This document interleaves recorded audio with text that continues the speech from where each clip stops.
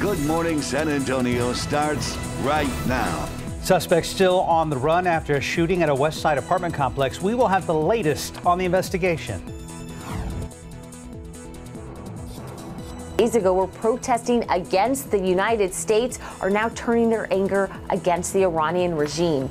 Good morning. I'm ABC's Megan Tevrizian in New York. We have those details plus what President Trump is tweeting to the Iranian people. That's coming up.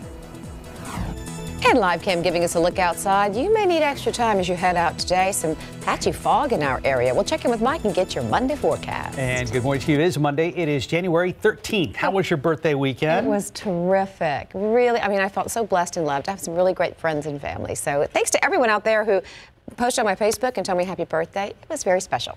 Had a nice steak dinner? Oh, Myron's. It was terrific, delicious. Just all around, it was a great weekend. Thank you. Well, good. So as you wake up this morning, you may run into a fog bank and then maybe fairly clear and then right back into a fog bank. Yeah, I had some really thick fog. Yeah, it's very, very thick, especially this early in the morning. A lot of times it waits until later on to mm -hmm. get mm-hmm. so thick, but um, there's no advisories yet. I have a strange, you know, feeling that uh, maybe the Weather Service is going to be issuing an advisory coming up here, uh, but there's nothing posted yet. Despite that, it is definitely pea soup out there. This is live cam, um, excuse me, somewhere. Can't tell you where because can't see any landmarks out there. Quarter mile visibility at the airport, zero going up I-10 in toward Boerne, half mile Castroville, quarter mile in New Braunfels, and it appears, well, other than Rock Springs, most of the thickest fog is right here in the middle of our viewing area. It's not bad off to the east or off to the west, and it is going to continue to, in places, get thicker as the morning progresses. We also have a couple, now there may be some mist and, of course, a little drizzle, damp streets with some of this fog. There are some showers down here along the coastal plain. Some of that's going to try and drift up to the the north, so we may have a couple of uh, showers around the area later on today. Temperatures are much, much milder, uh, roughly 20 degrees warmer than what it was yesterday at this time. And of course, there is just a slew of humidity out there with dew points well up into the 50s. Mountain cedars on the high side. It did drop down considerably, though, yesterday from the previous day's reading. Temperatures are going to stay steady this morning. Fog, drizzle, very, very muggy and light wind out there. 65 for a high temperature later on today. Maybe a shower I wouldn't count on it, just cloudy and get used to not seeing a bunch of sunshine if at all, because we're going to have a lot of clouds this weekend, very, very warm, and some light rain chances. We'll talk all about that coming up in a couple of minutes. Time saver traffic right now. Here is Officer Marcus Trujillo. Good Monday morning, sir. Good morning. Uh, good morning, Mike. Good morning, everyone at home. And uh, uh, like Mike was saying, get used to not seeing the sun. We get used to not seeing much once you head out there. Uh, just a reminder for folks low beams, not high beams. Saw a couple folks on the way in this morning. Uh, they think they're getting a little bit of an advantage by using the high beams, but all that does is not only make uh, visibility worse for you, but uh, the folks behind, the, the, folks that you're coming up on really causes a big glare, blinding them uh, in the rearview mirror. 37 at Carolina can't even make out the uh, lines there delineating the different lanes, and somewhere down there is Highway 151 at 410. So you will have to give it some extra time. You will have to reduce that speed, increase that following distance. You will need to put away those distractions throughout the morning commute. 410 at Highway 151, as you can see, they're having problems as well. And somewhere down there is Highway 90 at Military. Mark? Thank you, Marcus. New this morning, a man is in custody after San Antonio police investigate a family violence call. Happened around 9.30 last night, in the 13,000 block of Babcock on the northwest side. Police say a man in his 20s ran away when officers got there. SAPD says he ended up in a field between the reserve apartments and a bar and tried to hide. He was captured by K-9 with the help of the Eagle helicopter. Suspect was treated on the scene by EMS for a dog bite. San Antonio police are still looking for suspects in a shooting at a far west side apartment complex. A woman in the, is in the hospital this morning after being shot during the incident. It happened in the 11,500 block of Wild Pine around 5 p.m. yesterday. All we know so far is officers believe an argument between two groups of people led to the shooting. So far, no arrests have been made. The incident is under investigation.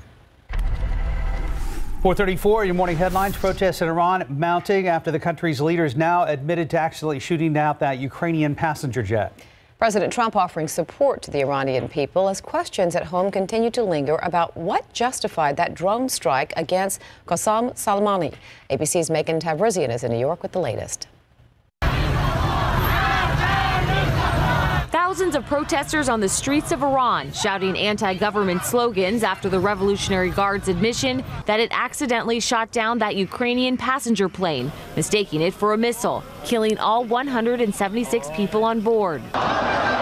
Just last week, Iranians were united, protesting the U.S. after the killing of Qasem Soleimani. Now, Iran's unity weakened in a sudden reversal. Protesters tearing down posters of the slain leader. President Trump offering support to the Iranian people, tweeting in Farsi and in English, My administration will continue to stand with you. And later sending a tweet aimed at the leaders in Iran. Do not kill your protesters. The world is watching. More importantly, the USA is watching. Turn your internet back on and let reporters roam free. Stop the killing of your great Iranian people. Here at home, Trump insisting Qasem Soleimani was planning attacks against American embassies before he was killed in that drone strike. That but Defense is, Secretary Mark Esper was asked on CBS if there was specific evidence of an imminent threat. I didn't see one with regard to four embassies. What I'm saying is I share the president's view that probably my expectation was they were going to go after our embassies. A new ABC News Ipsos poll finds the majority of Americans, 56%, disapprove of President Trump's handling of Iran. 43% approve. Only 25% of those surveyed report feeling safer after the strike. Megan Tevrizian, ABC News, New York.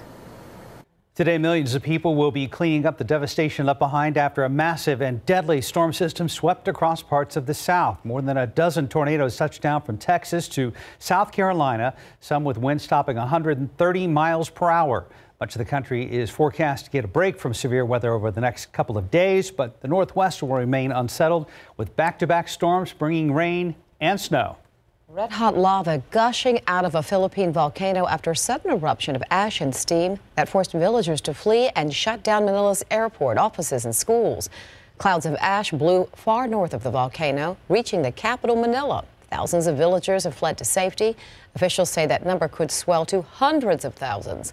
Some people could not leave their ash blanketed villages due to a lack of transportation and poor visibility. Others are refusing to leave their homes and farms. Queen Elizabeth hosts a summit of senior royals at Sandringham Estate today to discuss the future roles for the Duke and Duchess of Sussex. The couple recently announced they plan to step back as senior members of the royal family. Meghan, who's in Canada with the couple's eight month old son Archie, is expected to join the conversation by phone. Right now, 437, 55 degrees. Still ahead, an important warning about the flu and a rare case where a four year old nearly lost her life. And next, Spurs come from behind to get a big win in Toronto. We have highlights next. And taking a look outside with live cam, we have a thick fog in our viewing area. Please be careful as you head out.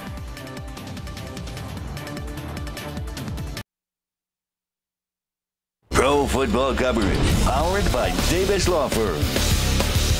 It was an awful night for Texans fans. Houston looking to finally break out of the divisional round and make it to an AFC championship for the first time, but they would have to do it on the road against Pat Mahomes and the Kansas City Chiefs. Texans were on fire in the first part of the game, scoring 24 unanswered points, but the Chiefs stormed back with four straight touchdowns in the second quarter. Late in the game, Mahomes hits Blake Bell for an eight yard touchdown. That made for seven straight touchdown drives for Kansas City. Chiefs go on to outscore them 51 7 after the Texans went up 24 0. Chiefs win big 51 31 Mahomes completing 23 of 35 for 321 yards and five touchdowns. For Houston, Deshaun Watson was 31 of 52 for 388 yards and two touchdowns. DeMar DeRozan returns to Toronto for the second time in his career as a Spur, and San Antonio tries to bounce back from a tough loss to the Grizzlies Friday night. San Antonio trailed to begin the fourth, but the Spurs responded with a 17 0 run, taking the lead late in the game. In the end, DeRozan scored 25 points. LaMarcus Aldridge had 11, and the Spurs rallied from an 18 point deficit to beat Toronto by one point. The final 105 104. Now, DeRozan also collected eight rebounds and four assists while topping 20 points for the 11th straight game. This was the third time in four games that San Antonio used a big fourth quarter to win.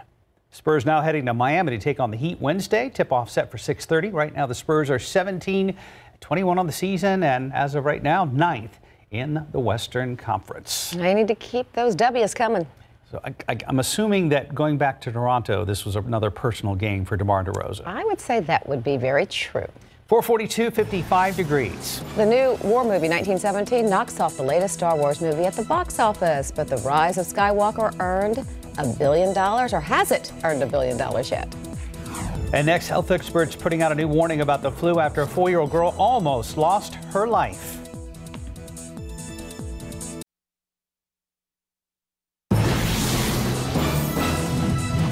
Welcome back. It is now 445. A new warning about the flu this morning after a four-year-old Iowa girl nearly died from the virus and is now blind. ABC's Kenneth Moton has details in your GMA First Look.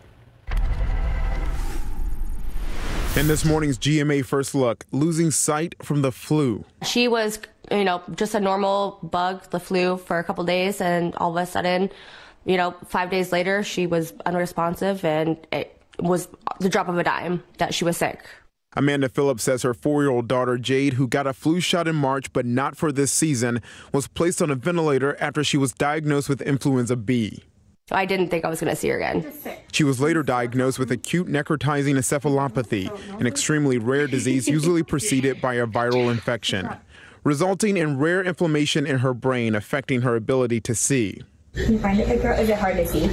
Jade's mom says she lost her vision and is not sure she will ever get it back. Coming up at 7 a.m., we'll hear from the doctors working on this rare case and tell you what you need to know to keep your children safe. With your GMA First Look, I'm Kenneth Moton, ABC News, New York. Little girl in Arizona facing a difficult health challenge got to have a bit of fun over the weekend. As ABC's Tom Llamas reports, first responders created a winter wonderland in her front yard. Two year old Quinn Walker loves the snow, and every year her family visits the mountains of Arizona for a little taste of winter. But this year, she was too sick to make the trip. Her doctor saying with her heart condition, it was just too risky. So when members of the Casa Grande Fire Department just south of Phoenix heard of little Quinn's situation, they knew they needed to help. They brought five tons of snow to our front yard. Quinn was too sick to go to the snow this year, so they brought it to us. The fire department dumping the snow right onto their driveway where Quinn could safely play. She and her siblings building snowmen. All this for this little nugget. The kids even going sledding. Quinn's mother, Sandy, overjoyed because Quinn still has some heart surgeries ahead. I cried so much throughout the whole morning. Just seeing the joy on her face, we wouldn't have been able to bring that to her um, this year. She loves the snow, and um, we try and go every year. So um, just seeing her happy and playing with her brothers just meant the world to my husband and I. At least on this day, no doctors, no hospitals, just a lot of fun. Tom Llamas reporting. Is that the cutest little girl ever? Adorable with a capital A. What a sweet story. Oh, and we wish the best to her and her family. We do. Right now, let's check traffic at 448. Marcus, any problems? Well, right now, uh, one problem, and it, that problem probably covers uh, from uh, way up there to a little further down south and more east and more west. And what you can see on this map, that's the fog. It's pretty much everywhere, folks. Let's take a look. As far as TransGuide is concerned, uh, just about everywhere we see, that's Highway 98 Military, 410 at Callahan, uh, somewhere down there, 21 at Winding Way, 410 at Jackson Keller, not too bad there compared to some of the other areas. And then Highway 90 at 35 here in the downtown vicinity, you can see folks are really having to slow down for those uh, connector ramps. Remember, they're also liable to be a little slick, so you want to reduce those speeds well ahead of any of those areas. There's I-10 there at the Y, and as we take a look at uh, some other vicinities, 410 at Ingram. Are you sure that's a real picture? I'm not sure. Well, you know, if it, if if we weren't getting a picture, thought about that for for a minute. But if we weren't getting a picture, we wouldn't have the title. Ah. And the snow would have a little bit more white in it, not so much gray. Now those cameras are, you know, up a little bit higher, but even down at the surface, I mean, we've got visibilities that are down to zero. Many spots, like the case there, and uh, right at the beginning of 4:30, just as I was saying, I think fog advisory may be issued. Weather Service issued one for How about the area. those storms Friday nights? Yeah. A lot of damage Wow. from that as well. So and then once again, a perfect weekend. Uh, but now, as expected, that humidity has definitely made a return. So we are not going to be seeing anything like this this morning. It was the sunrise yesterday, which was absolutely spectacular, and then turned out to be another fantastic day. Forget about seeing a lot of sunshine out for not only today, but also pretty much the rest of the week. This is uh, live cam, and yeah, it is just pea soup out there. Dense fog advisory until 10 o'clock this morning. So it's going to be really stubborn. Obviously, with the fog, there's some mist and the roads are going to be damp, and it covers a good chunk of the area, all the way uh, 35 from almost Cotulla up through Austin, 10 going out to the hill country, as well as uh, straight west on 90, a good chunk of the hill country. Visibility is, well, at a quarter mile or less than many spots. Zero right around Boerne, three quarters of a mile Stinson, mile and three quarters Pleasanton, and a lot of very thick fog around Rock Springs as well. Even down around Cotulla, you got some pretty thick fog. So it's kind of, except the fringes of our area, uh, most everybody has some fog. And it's going to get thicker as it usually does throughout the next uh, couple of hours. So 48 at Boerne, 55 Randolph, same thing out there at the airport. Again, humidity is just sky high. It really started to pump back in here in the overnight hours. And we also have these few showers down along the coastal plain. Some of those are going to try and scoot their way further inland, which is what uh, this computer model, this is the rapid update model, does have that trying to slide up there. It's not going to be a, big rain event, if at all. I mean, it's going to be a couple of stray showers here and there. But the one thing to really take away from this is the fact that we don't have anything as far as any sunshine around here. We're going to be dealing with some fog again tomorrow morning, a couple of light showers here and there, maybe a few showers throughout the rest of the day. The only difference between really today and tomorrow is going to be it's about 10 degrees warmer tomorrow, and we're going to be staying definitely on the warm side throughout the rest of the week. So humidity continues to get pumped on in here over the course of today as well as the next few days. And these dew points, I mean, look at this upper 60s and even low 70s. It's like uh, summer kind of humidity. And that, again, stays around throughout the rest of the week. And then we've got another fairly uh, potent front moving on through here. So that's going to scour all the moisture out of the atmosphere and lead to, once again, another pretty nice weekend. We are just, I mean, got a streak of these going on here. 62 degrees today at noon.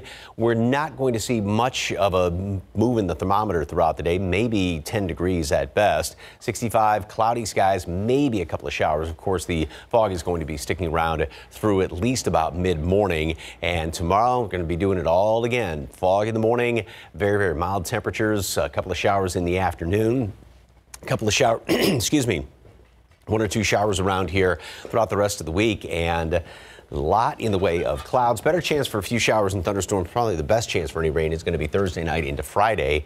And then we are going to be clearing out somewhat for the weekend. Another great looking weekend around here. 75. The problem, yeah, warm and humid. The problem with the whole week long, it's like, come on, rain, do something. And it's not, except for Thursday, Friday, maybe a little bit better chance, not anything really good as far as rain.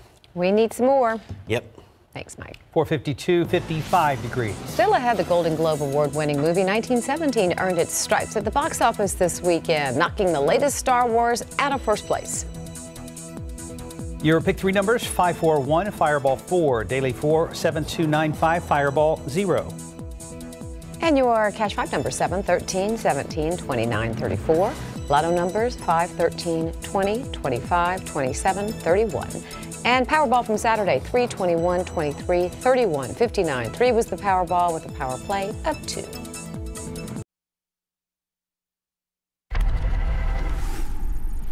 Star Wars The Rise of Skywalker, no longer the king at the box office. For the latest on what's happening in Hollywood, here's ABC's Chuck Zipperston.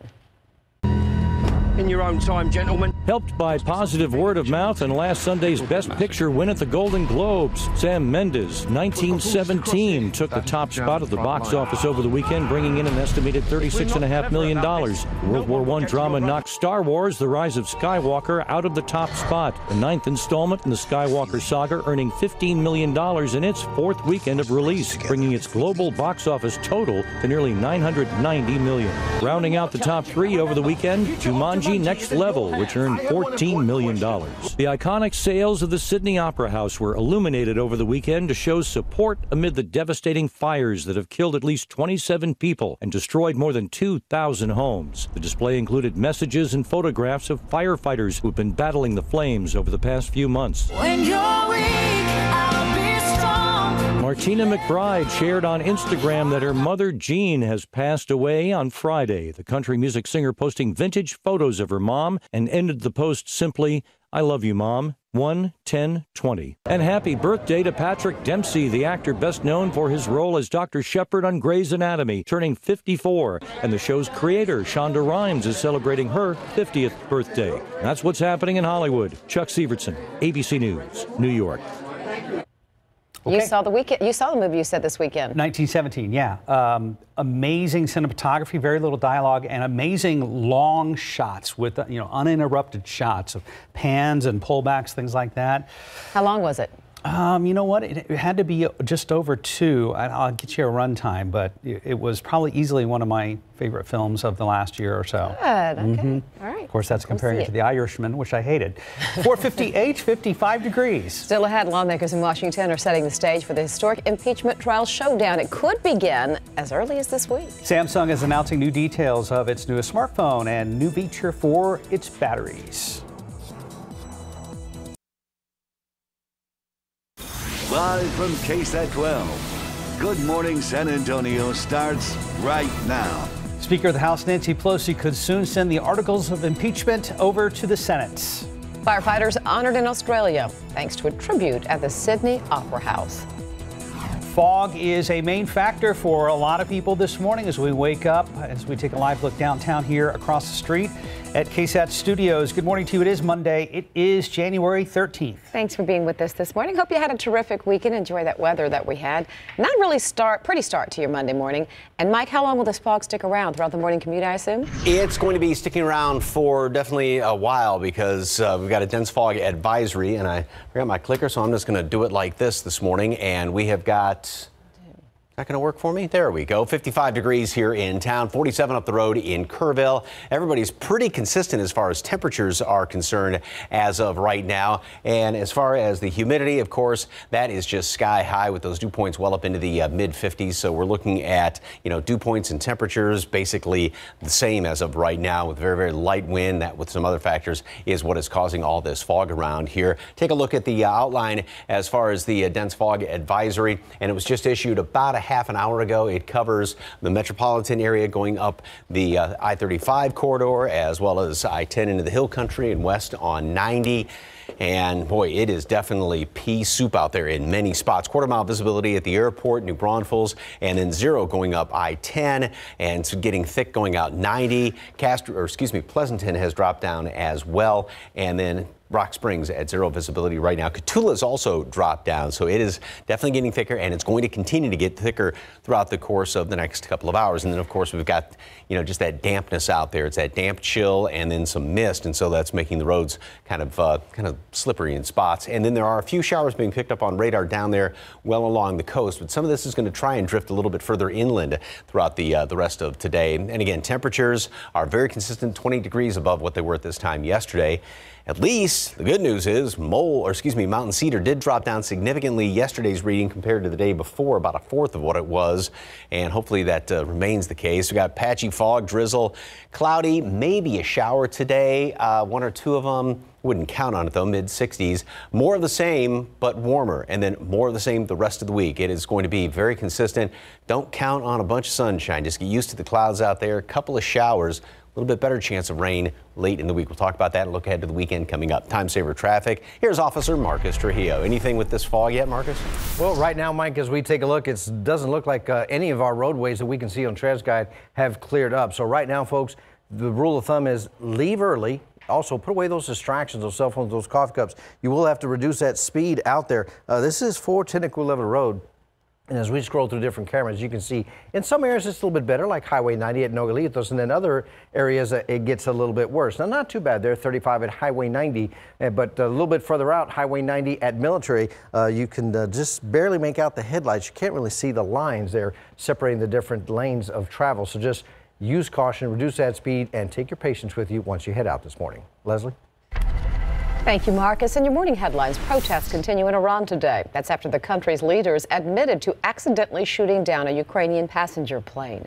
President Trump offering support to the Iranian people as questions continue to linger about what justified the drone strike against a top Iranian general.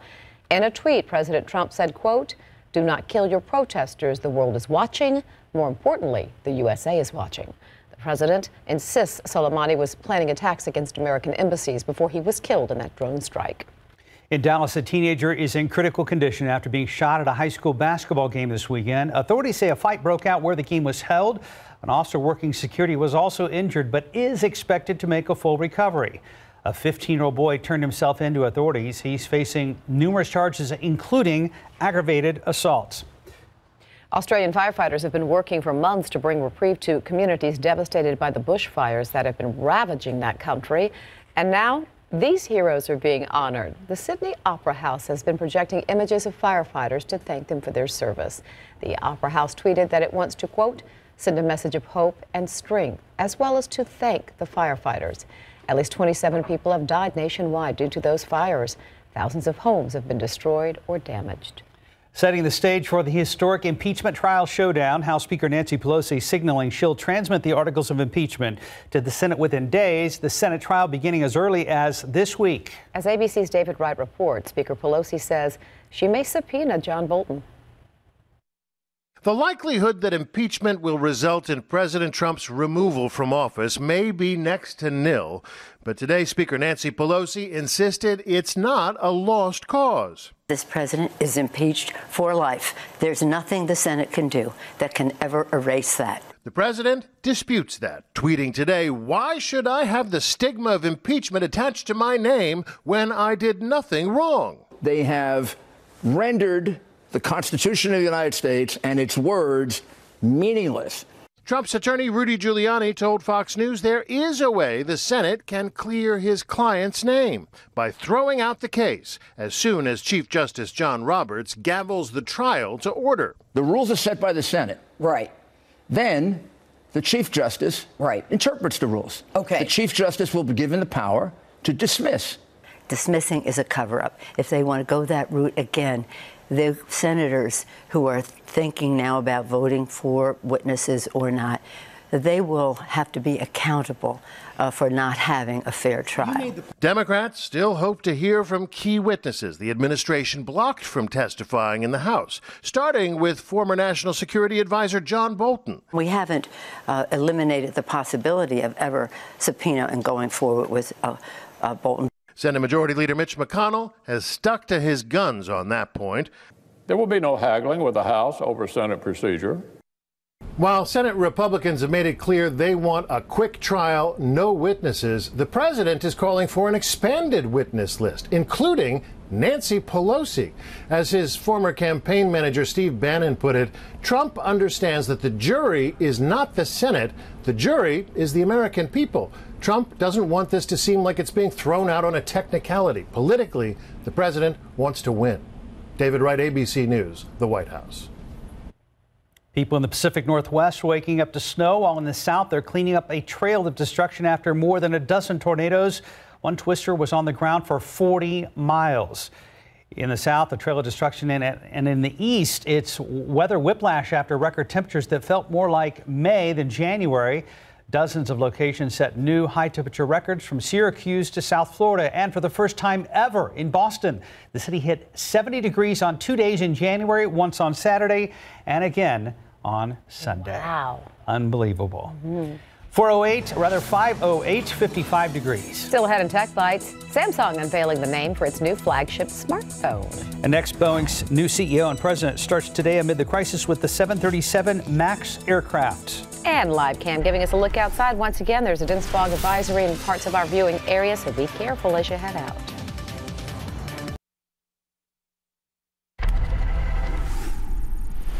Welcome back. Just about 12 minutes after 5. In your morning consumer headlines, David Calhoun begins his new job as Boeing CEO and president following the resignation of Dennis Muilenburg. The company had said the change in leadership was necessary to restore confidence in the company as it works to repair relationships with regulators, customers, and other stakeholders. That's following the grounding of the 737 MAX aircraft, which had been involved in two devastating crashes that killed a total of 346 people. Apple pushing recycling to new frontiers. Its new Daisy robot turning heads in a warehouse outside Austin. robot disassembles iPhones said that rare minerals inside the phone can be recovered and reused.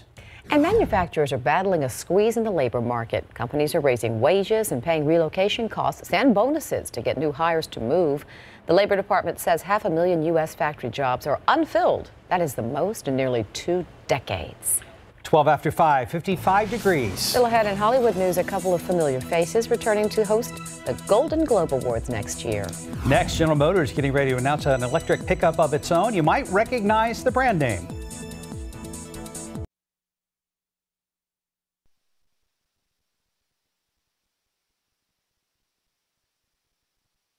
Nerds! To all the people questioning right now, questioning what kind of salad costs $14? How do people just buy a house? Should I put this all on my card and get the points? How can I get my credit score to go up? Wait, am I supposed to be investing? Can I afford to fight this? Can I afford to do this?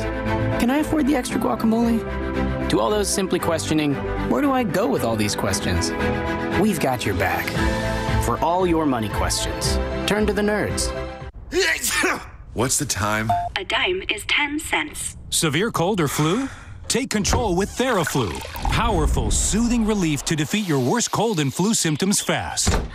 Theraflu, the power is in your hands. Still looking for a dry skin solution? Try Eucerin Advanced Repair Lotion.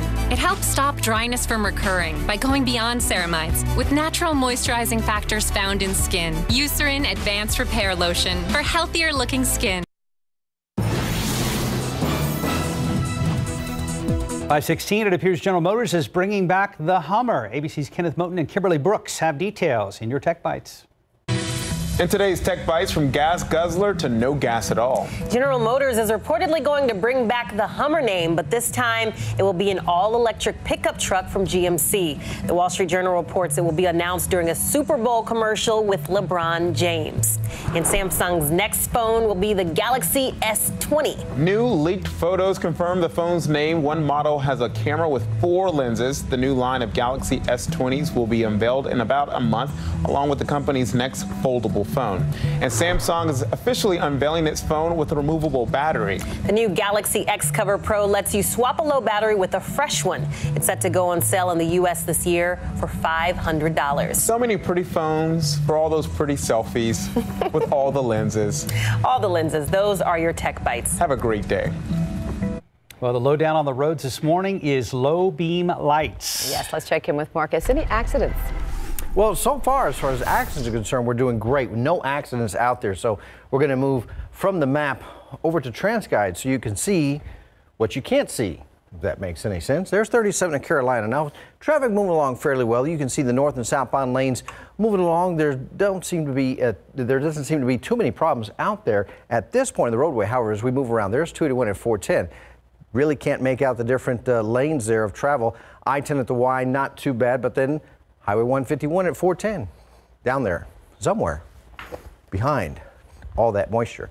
And for some folks, we'll get Mike's scientific answer on this.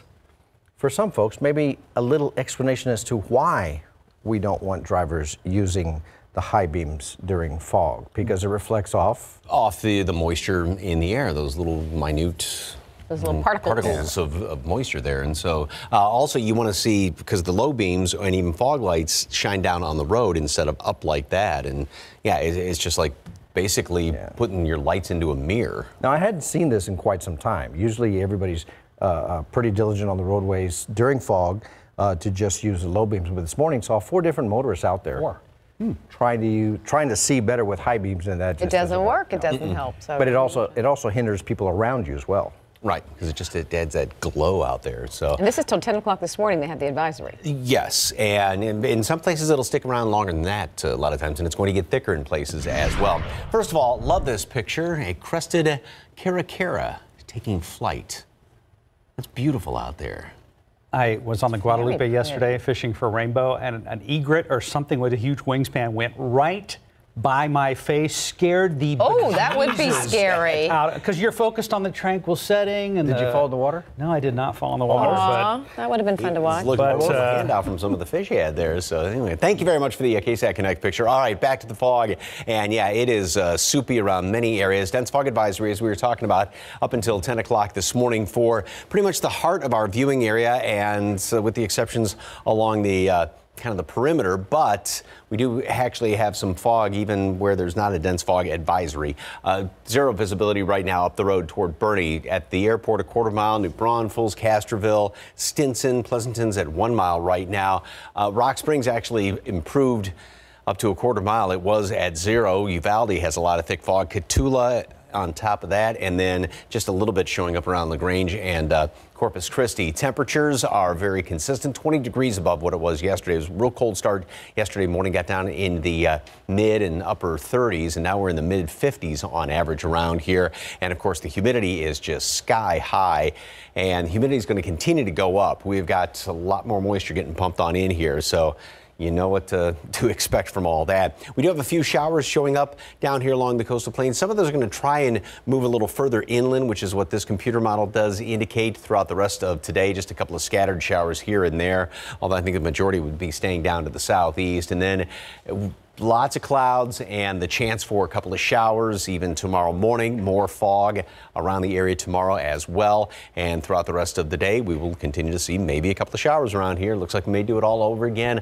Wednesday morning on top of that. And the humidity, like I said, is going to continue to get pumped on in here. And so these dew point temperatures will continue to go up. And look at, we're looking at some uh, mid upper 60s, even 70s for dew points. That's like late summer kind of humidity when you get those dew point temperatures well up into the upper 60s and low 70s. So that's just going to add to the fog factor. And that sticks around through the rest of the week. But then another front's going to get rid of all that humidity by the weekend. So we've got the moisture from the Gulf of Mexico, moisture coming in here from the uh, southwest. And yeah, there's winter weather up there to the north of us, but all that is staying up there to the north of us. And for us, what you see is what you get. And that means a lot of clouds, no sunshine this week. 62 degrees today at noon. Cloudy skies, uh, leftover fog even, even though the dense fog advisory ends at 10 o'clock. There may be some of that uh, stubborn lingering fog around the area.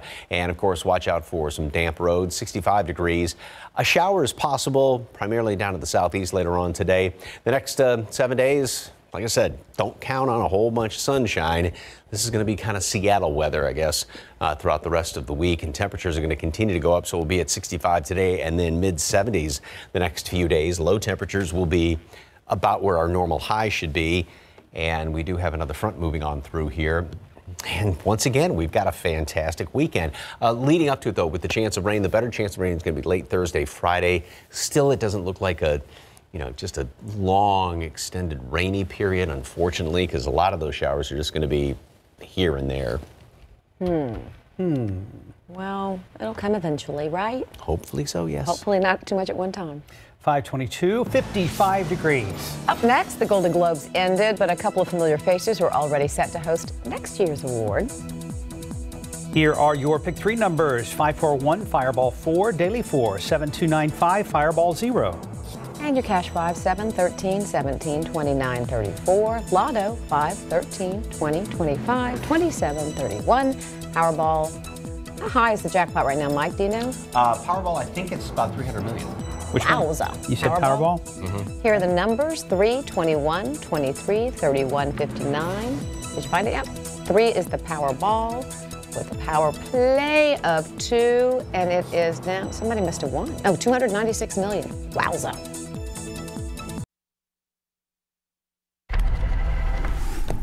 For the second straight year, the Oscar ceremony will not have a host. That's okay. The next Golden Globes will have two. CNN's David Daniel has that and more. Award season news in your Hollywood Minute. Next year's Golden Globe Awards don't even have a date yet, but they do have hosts. Tina Fey and Amy Poehler are set to return in 2021 to host the Globes for the fourth time. The announcement came less than a week after Ricky Gervais hosted for the fifth, and he promised the last time. Wait, am I going to be the story? No. No. I'm going to be the story. No. If you were amazed at how Bombshell turned Charlize Theron into Megyn Kelly, you weren't alone. The Makeup Artists and Hairstylist Guild gave the film three honors honors at its seventh annual awards Best Contemporary Makeup, Best Special Makeup Effects, and Best Contemporary Hairstyling. Joker received Best Period and or Character Makeup, while Downton Abbey was honored for Best Period Hairstyling and or Character Hairstyling. Last year's dispute between Ariana Grande and the Grammys appears to be water under the bridge. The singer and the award show both announced she's set to perform on the January 26th award show. Last year, Grande didn't perform or even attend after a dispute with show producers, reportedly over what songs she would sing. In Hollywood, I'm David Daniel. We'll forgive him. 527, 55 degrees. Canada's prime minister is among the mourners who gathered at a memorial to remember Canadians killed in the Iran plane crash. And who's leading the pack, pack rather for the Democrats for president? We will have the latest numbers. And one of 2019's biggest music hits is celebrating a big honor. Remember Old Town Road? We'll tell you why it's being recognized.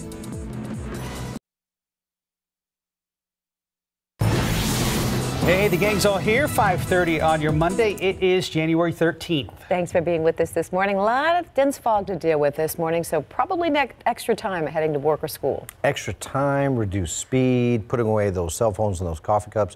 You will need both hands on the wheel. 100% of your focus needs to be on the uh, driving conditions right now. Paying attention to your driving, to where your lanes are. In some places, it's really difficult just to see where the lines are, separating the different lanes of travel. So other areas, it's not too bad, but it can change in the blink of an eye. And in one yep. particular section of 1604, I actually saw different levels.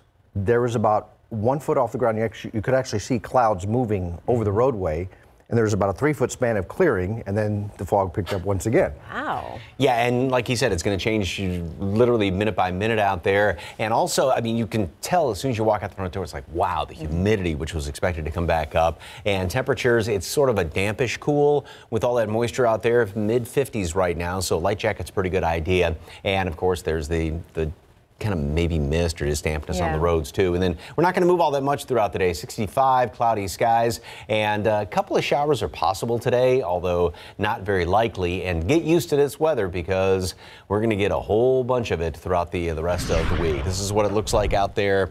Uh, by that is 410. We are looking off to the northwest, I believe. And as you can see, now granted, this camera's up a couple of hundred feet on top of that building, but we do have a lot of thick fog, like Marcus was talking about down there at the surface. Dense fog advisory for most all of the area up until 10 o'clock this morning. And we've got zero visibility right now going up I 10 in toward Boerne, quarter mile at the airport, Castroville, Stinson, New Braunfels. And these numbers can change literally uh, turning a corner and you're going to run into maybe a wall of fog in places. A lot of thick fog around Rock Springs and Fredericksburg. Not too bad on the perimeter as of right now. There are a couple of showers showing up along the coastal plain, which some of that's going to try and work its way further inland. There may be, like I said, a shower or two today, and that's pretty much about it. And as far as the uh, allergens, mountain cedar did drop down considerably from Saturday's reading. It's about uh, 2,600 right now. Hopefully, it's going to be staying low throughout the rest of the week. Another big front, though, comes through by the weekend. Details in just a couple of minutes. Time saver traffic right now. So, despite all the fog, not much out there, doesn't look like. Well, no accidents yet, Mike, but we're starting to see some slowdowns up on that far northwest side, Bandera Road, both eastbound and westbound between 410 and 604. Now, there's a number of areas.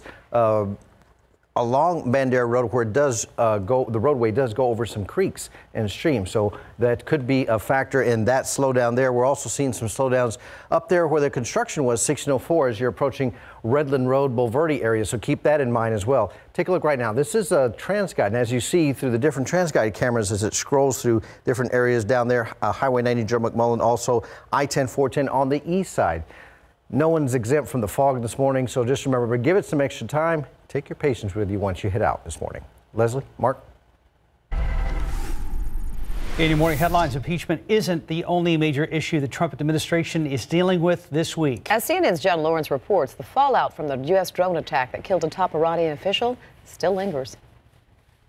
President Trump says Iranian General Qasem Soleimani posed an imminent threat to the U.S. because he was planning numerous attacks. I can reveal that I believe it would have been four embassies. But when Defense Secretary Mark Esper was asked about specific evidence regarding the imminent threat Soleimani allegedly posed, I didn't see one with regard to four embassies. As for National Security Advisor Robert O'Brien, I think those threats were imminent, and uh, I don't want to get into the definition far, further than that, but uh, we, we took the measures necessary to protect American diplomats. Both Esper and O'Brien backed President Trump's rationale for the fatal drone strike, but there's some bipartisan concern. I've learned not to simply take the federal government's word at face value. We've heard that the uh, from the Secretary of State that they don't know where or when, but it was imminent. That to me does seem inconsistent. Democratic Senator Chris Murphy of Connecticut tweeting Friday that there was no mention of planned embassy attacks at last Wednesday's briefing, ending with there was no such imminent threat. Frankly, I think what they are doing is they are overstating and exaggerating what the intelligence shows. I'm John Lawrence reporting. Meanwhile, Canadian Prime Minister Justin Trudeau among the mourners who gathered for memorial for last week's plane tragedy over Iran. Organizers say 2,300 people attended Sunday's vigil at the University of Alberta's Sports Arena.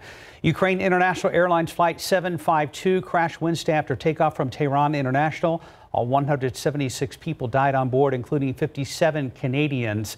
Iran later admitted it mistakenly shot the airliner down. Trudeau says Canada stands united in grief and he would pursue justice and accountability from Iran for what happened. China's vice premier will travel to the United States this week after the two sides reached a first stage deal on trade. President Trump has said phase one will be signed on Wednesday, and they will work on the second phase of the deal soon. But the president does not expect a resolution to happen before the November presidential election. CNN reporting more than a dozen Saudi servicemen training at U.S. military bases are set to be expelled from the U.S. This after a review following the deadly shooting last month at Naval Air Station Pensacola. A 21 year old Saudi Air Force second lieutenant killed three American sailors in that shooting. Two sources tell CNN the Saudis being expelled are not accused of helping the gunman, but some are said to have connections to extremist movements. A number are also accused of possessing child pornography. That's according to a defense official and a person familiar with the situation. Officials in Australia are airdropping thousands of pounds of food, like carrots and sweet potatoes, from planes to feed wildlife affected by the fires. Australia's Prime Minister is expressing regrets over the handling of the country's wildfire crisis. It's claimed more than two dozen lives. He admits that there were things that could have been handled much better. He says he will propose a national review to study how the government should respond and offer support to those affected by such disasters in the future. It's stunning in scope. There was that headline we saw last week something like a, over a billion animals have been killed in these no, fires. And some species, their word could be wiped out. Completely wiped out. 537, 55 degrees. Still had lots of drama going on with the royal family now that Prince Harry and Meghan Markle have decided to step back from their royal duties. More on the meeting scheduled today with Queen Elizabeth. 2020 Democratic candidates clamoring to be in the top spots as we get ever closer to the Iowa caucus. And live cam giving us a peek outside on your Monday morning. It's mild and humid and foggy, kind of a little yucky out there today. But we're glad you're with us.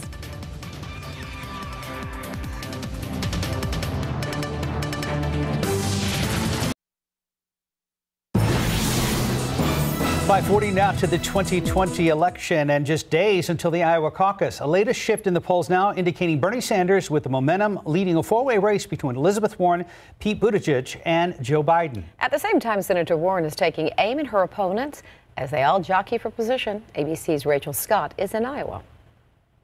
Fight hard and win! Senator Elizabeth Warren packing the House and sharpening her attacks. Senator Bernie Sanders is heading into this critical stretch with a slight edge on the rest of the pack in this latest state poll.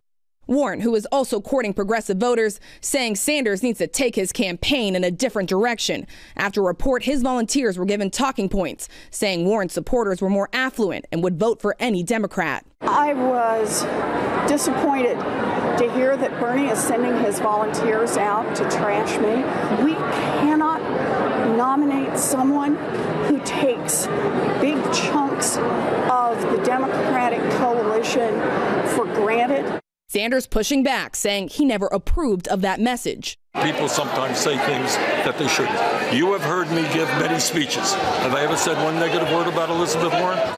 Warren also going after former New York City Mayor Michael Bloomberg, who is skipping the state entirely. The next president of the United States, Michael Bloomberg. Instead, campaigning this weekend in Texas with TV's Judge Judy. Judy, thank you. And uh, hello, Austin. I am running to defeat Donald Trump. Warren calling on Bloomberg to release non disclosure agreements from employees who settled with his company over hostile work environment complaints. What is it that Michael Bloomberg has to hide? Bloomberg will not be on the debate stage, and neither will Andrew Yang, who failed to qualify. Screw Iowa, no, I'm kidding. Yang said he was kidding, but the battle for Iowa is intensifying. The caucus just 22 days away. Right now it's 542, 55 degrees. Coming up next, more on today's royal meeting to discuss the future of the Duke and Duchess of Sussex.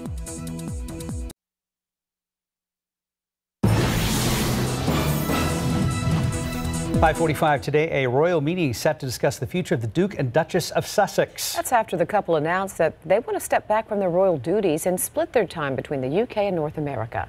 Here's ABC's Ariel Reshef with details. Britain's royal family thrown into turmoil last Wednesday after Prince Harry and his wife Meghan announced their desire to step back from senior royal duties. Queen Elizabeth stepping out before cameras Sunday. The 93 year old monarch now calling for a face to face meeting with Prince Charles, Prince William, and Prince Harry to discuss the future role of the Duke and Duchess of Sussex. Palace sources saying Meghan, who has returned to Canada to be with baby Archie, will join the discussion by phone. It shows that there is a real and genuine desire to accommodate the Sussexes, to make them happy. They've clearly been so unhappy and nobody wants that. A British journalist close to the Sussexes, ITV's Tom Bradby, interviewed the couple for a documentary on their African tour last October. Would it be fair to say not really? Okay, since really been a struggle. Yes. Prince Harry also revealing his relationship with his brother had become fractured. We're brothers, we're, we'll always be brothers. Um, we're certainly on different paths at the moment. The Sunday Times reporting William spoke to a friend about Harry, saying, I've put my arm around my brother all our lives, and I can't do that anymore. The Queen now striving to both help her grandson and protect the crown. I think what's important now is that moving forward, they are all on the same page and that they are talking things through before things are put out into the public domain. The issue of money likely to be a part of Monday's discussion. Harry and Meghan have said they will work to become financially independent, but whether Prince Charles, who provides the bulk of their money, will continue to do so remains to be seen. Ariel Reshef, ABC News, New York.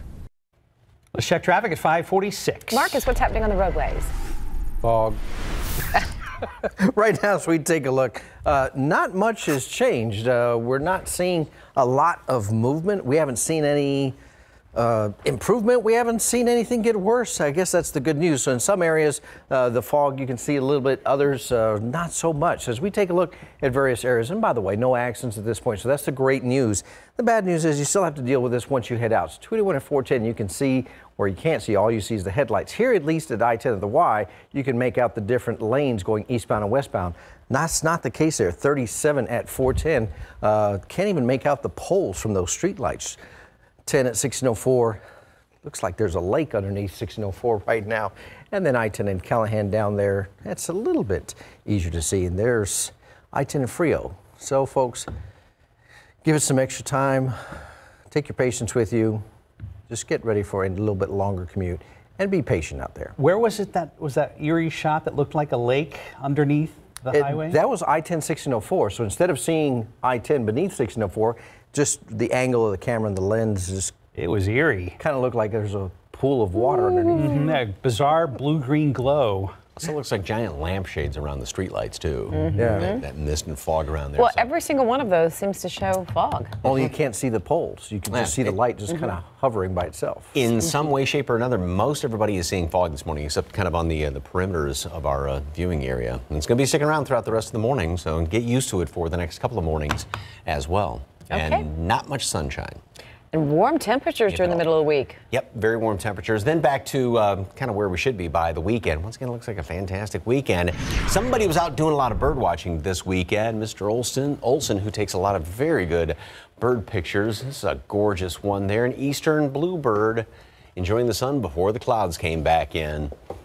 Good thing you got the sun bathing in yesterday. Uh, Mountain Cedars on the high side, but again, it uh, about a fourth of what it was on Saturday's reading. We don't have any big fronts moving on through here anytime in the next couple of days, so hopefully that number is going to be staying on the lower side. Mold, I have a strange suspicion, is going to be definitely going up. So this is what it looks like live cam over there by the airport. The airport would be back in here somewhere. We're looking kind of off to the uh, the northwest, and dense fog advisory in effect till 10 o'clock this morning. That doesn't mean it's all going to go away at 10 o'clock. There may actually be some lingering fog even after that. So just something to be on the lookout for. And visibility all around the area is less than one mile. Matter of fact, pea soup up there right around Boerne. Kerrville, a lot of thick fog. Cotulla, on top of that, even up toward uh, Fredericksburg. And like I said, most everybody has a little bit of fog around this morning. 56 in Helotes, 48 in Comfort, and 56 also in Floresville. And the humidity remains extremely high around here, and the humidity is just going to continue to go up over the next couple of days. Here's what the radar is picking up: a few light showers along the the coastal plain, and uh, this computer model has primarily down here to the southeast a few of these scattered showers around. There may be one or two of them trying to move further inland throughout the day. It's a chance. I wouldn't count on it, though. Uh, pretty much the same thing tomorrow. In the next couple of days, we have that chance of rain. It's not really a, a good chance at any uh, showers around here. Tomorrow morning, we're going to be starting off with uh, more couple of sprinkles perhaps, more fog, mist and drizzle, and one or two showers throughout the, uh, the afternoon. And the humidity, which, yeah, it's high right now, is going to continue to go up. So relative to the temperature, it's very, very high, but we're still below that threshold of 60. However, that's going to be changing in the next couple of days with all this moisture coming back on in here. And so we're going to see dew points in the upper 60s and even low 70s, which is kind of like summer sort of humidity. That sticks around through the rest of the week. Like I said, we got another front moving through by the weekend, so that's going to knock that humidity out of the atmosphere. We don't have any big systems in our direct, coming in our direction. It's just all this moisture sort of converging, and so there's nothing really to squeeze out any decent rain.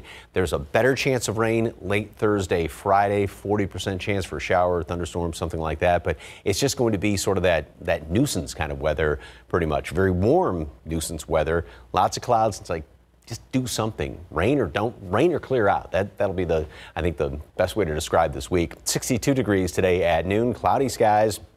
Maybe even some leftover uh, mist and fog at noon, and then a high today of 65 degrees, close to normal. Obviously, we don't see much of a swing in temperatures given the fact we've got all this cloud cover and moisture around here. Tomorrow we start off very mild again, get up to 75 degrees, and we stay in the mid 70s through the rest of the week with a lot of clouds. Very warm, low temperatures, a couple of showers here and there, a little bit better chance of rain late Thursday, Friday. Then we clear out for the weekend. Okay, well, we'll take it because the weekends are when we really want the nice weather, isn't it? The streak of beautiful weekends continues. We're spoiled and we like it. 52, 55 degrees. Last year's big music hit, Old Town Road by Lil Nas X and featuring Billy Ray Cyrus has earned a big honor. We're going to tell you all about it coming up next. Pick three numbers, 541, Fireball 4. Your daily four numbers, 7295, Fireball 0.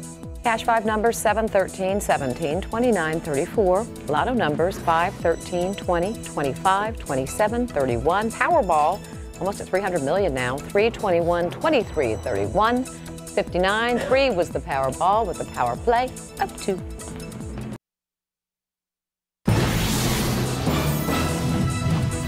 The hit single Old Town Road has earned a big honor. CNN's Rick Damigella tells us which one, along with the latest news on Prince, BTS as well in our Music Monday segment.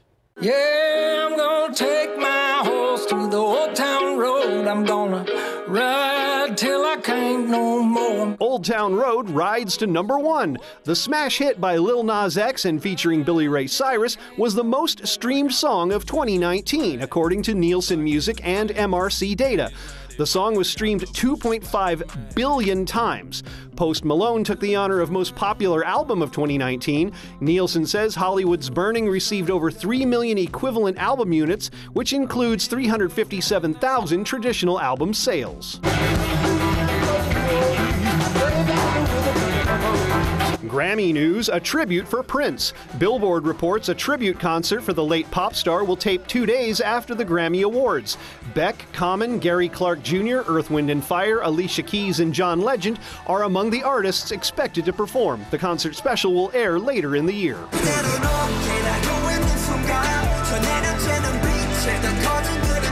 Check out the latest from K pop superstars BTS. The song Interlude Shadow features a solo performance by BTS member Suga. The song comes from their highly anticipated new album Map of the Soul 7, scheduled to release February 21st. In Hollywood, I'm Rick Damigella. The San Antonio Spurs getting a big fourth quarter win over the Toronto Raptors last night. Final score 105 104 after the Spurs trailed by 18. This was the third time in four games that San Antonio used a big fourth quarter to win it. Spurs now headed to Miami to take on the Heat Wednesday. Tip off set for 6:30 our time. Right now, the Spurs 17 and 21 on the season and currently in ninth place in the Western Conference. We're about three minutes away from the hour of six. Important news if you're looking for a contractor to do work on your home. Still to come, what you need to know before you hire anyone in the new year. And TransGuide really tells the story this morning of widespread fog. We'll check in with both Mike, Mike and Marcus coming up here on GMSA.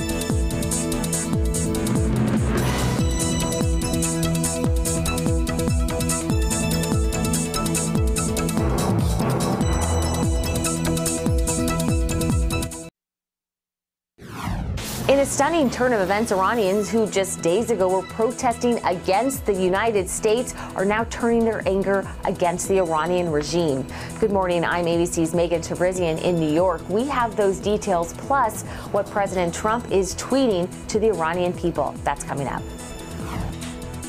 And look at the uh, live cam out by San Antonio International Airport. You can barely see the cars down there on Loop 410. We'll get an update on traffic and weather with Mike and Marcus.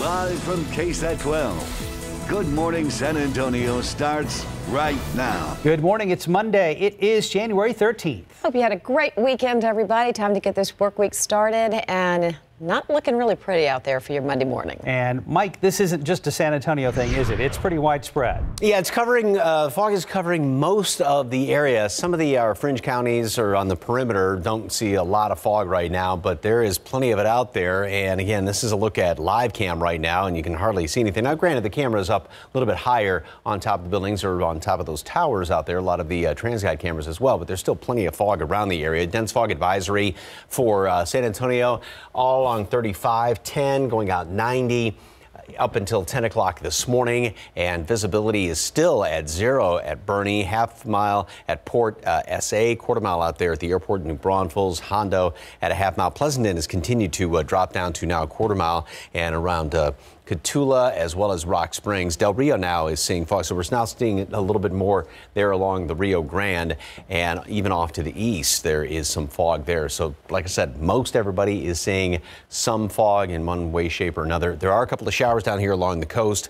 Um, other than what's being picked up. Obviously, a little mist with some of the fog or just dampness out there. Some of this is going to try and work its way further to the uh, north, but rain chances today are basically almost slim to none, but there's just that mention of it. Mountain Cedar still on the high side, but it dropped down about a quarter of what it was on Saturday. The updated count is going to be coming out in about an hour or so. Temperatures are going to be staying steady all morning long. We're going to keep plenty of fog around here. And even after the dense fog advisory expires at 10 o'clock, we'll probably still have some of this uh, kind of lingering fog and mist and drizzle around the area. Low 60s today at noon. And don't count on much sunshine, not only today, but the next few days.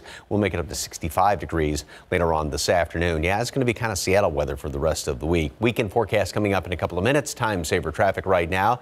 Here is Officer Marcus Trujillo. And despite this fog up to this point, there hasn't been much. Still no accidents on the highway. So uh, we have an incident off the highway, not an accident. Uh, that's probably a fire going on out there. But as you can see, all the main lanes are, of the highways move along fairly well despite this type of visibility out there. This is Highway 90 at McMullen. So things don't look too bad there, but then go over to the east side, I-10, 410 interchange.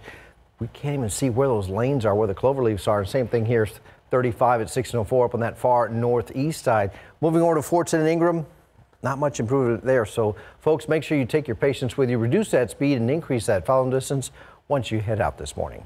Leslie?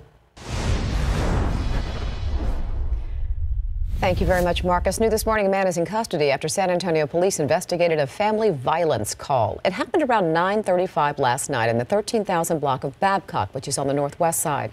Police say a man in his 20s ran uh, ran away when officers arrived. We are told he tried to hide in a field.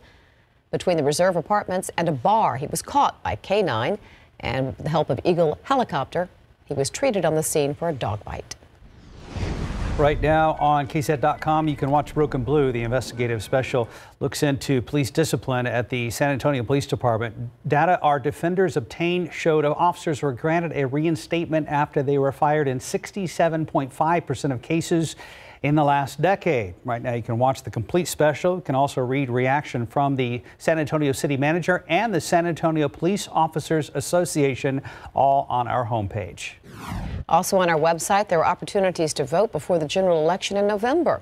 Texas is one of 14 states with primary elections on Super Tuesday in March. It's called Super Tuesday because it's when the greatest number of states hold primary elections and caucuses. The results are usually a good indication of which presidential candidate will secure his or her party's nomination. We break it all down on our homepage.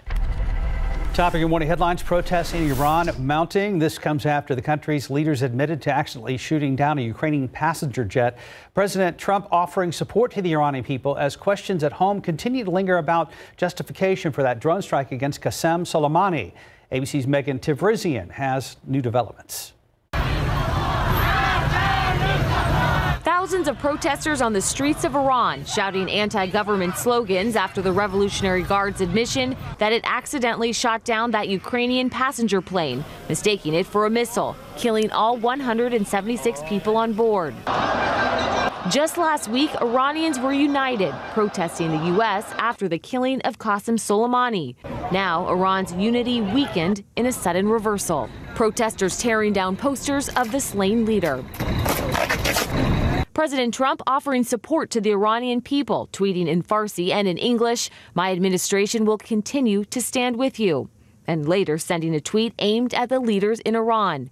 Do not kill your protesters. The world is watching. More importantly, the USA is watching. Turn your internet back on and let reporters roam free. Stop the killing of your great Iranian people. Here at home, Trump insisting Qasem Soleimani was planning attacks against American embassies before he was killed in that drone strike. That but Defense Secretary Mark Esper was asked on CBS if there was specific evidence of an imminent threat. I didn't see one with regard to four embassies. What I'm saying is I share the president's view that probably my expectation was they were going to go after our embassies. A new ABC News Ipsos poll finds the majority of Americans, 56%, disapprove of President Trump's handling of Iran. 43% approve. Only 25% of those surveyed report feeling safer after the strike. Megan Tevrizian, ABC News, New York. In Australia, the government has pledged $34 million to help restore and protect the country's wildlife devastated by wildfires. Officials there say the fires have been an ecological disaster. This is video from the Koala Hospital in New South Wales. Conservationists say more than 1 billion wild animals have died during these fires. They include large amounts of reptiles, birds, koalas, kangaroos, wallabies, and wombats. In the Philippines, lava gushing from a volcano after a sudden eruption of ash and steam forced many villagers in the area to leave. They also had to shut down Manila's airport. Offices and schools as well. Some people could not get out because of lack of transportation and poor visibility. Now to a weather alert. People in the Pacific Northwest are waking up to snow, while in the south they're cleaning up a trail of destruction after more than a dozen tornadoes. One twister was on the ground for 40 miles. And in the east, it's weather whiplash after record temperatures that felt more like May than January. ABC's Kenneth Moton reports. Overnight in Seattle, snow hitting Snohomish County tonight. We'll see how far south it comes. A days long cold snap kicked off with snow, a rare sight for the area even in January. Storms are hitting the Pacific Northwest along with the coldest temperatures so far this season. The snow's coming down pretty good and frankly is accumulating. The storm is raising safety concerns along the coast after the rough surf swept a family out to sea. Authorities say an Oregon father and his two children were on the beach when they were hit by a large wave. One child died, the other remained missing overnight. In the south, a trail of destruction. Storms spawned more than a dozen tornadoes from Texas to South Carolina this weekend, killing at least 12 people. In Georgia, this trampoline tossed like a small toy. Near Columbia, South Carolina, the powerful winds slammed these school buses into each other. It was four of us together, including mm -hmm. my baby. In the bathtub. Mm -hmm. In the bathtub with a mattress over our head. North of Shreveport, Louisiana, the roof of this middle school is now gone. Meanwhile, on the East Coast, a weather whiplash after winter was interrupted this weekend. Dozens of locations set new high temperature records from Syracuse to South Florida. For the first time ever in Boston, the city hit 70 degrees on two days in January once on Saturday and again Sunday. But back to reality today. Temperatures are going to fall off the table after record shattering high temperatures across the east. Kenneth Moton, ABC News, New York. Nine minutes after 6, 55 degrees. Still to come, a new warning about the flu after a four year old Iowa girl nearly died from the virus and is now blind. That's coming up in your GMA First Look. After the break, a look at some of the stories you may have missed over the weekend. They are trending right now on KSAT.com. And live cam giving us a look outside on your Monday morning. Lots of fog to deal with this morning. Please be careful.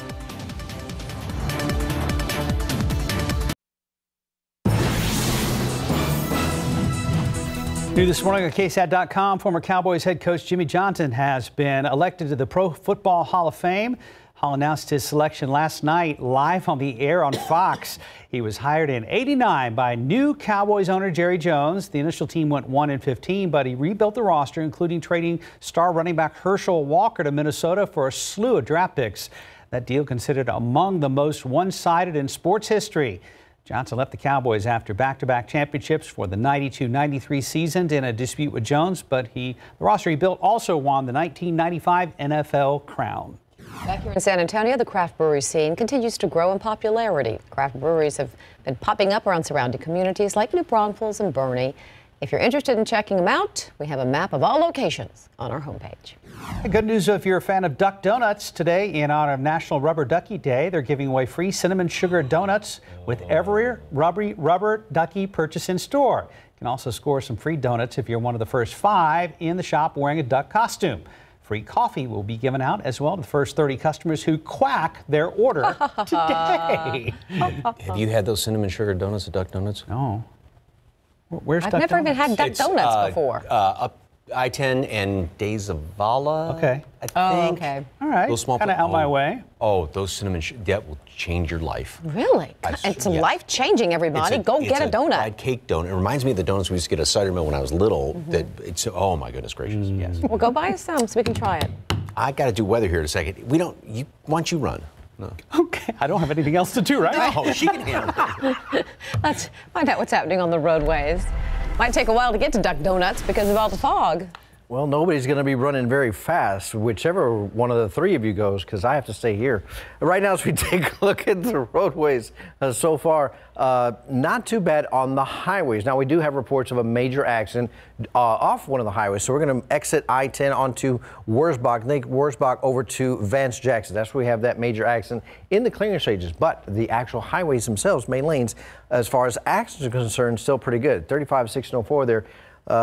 Can't see it really. See a couple of headlights. If we move over to Highway 90 Joe McMullen, visibility is just a little bit better. But the unique thing this morning, uh, and Mike, maybe you can give uh, chime in on this. Unique thing this morning is as we look at all these TransGuide cameras, I've not seen any of these cameras improve or the ones that did have a little bit of visibility get worse. It's kind of stayed the same so far. It's really 'Cause the, weird. The moisture just keeps getting pumped in here and pumped in here, and that's why it's been actually dropping in a lot of places, and it's going to continue with a lot more humidity uh, throughout today, this afternoon, tonight, and tomorrow. So we're going to be dealing with the same thing again Mm. tomorrow. And so. we're in quite the warm pattern. Yeah, it's going to be uh, like mid 70s all week long. and It's been a lots of- bizarrely mild winter, hasn't it, guys? Mm-hmm. That was one of the uh, long range predictions going back to last fall that it was going to be a little bit drier and kind of on the, the warmish side. So we've had our, our you know cool snaps here and there. Sure. So it is nice to see some rain this week, but it's not like it's going to be a lot of rain, unfortunately. So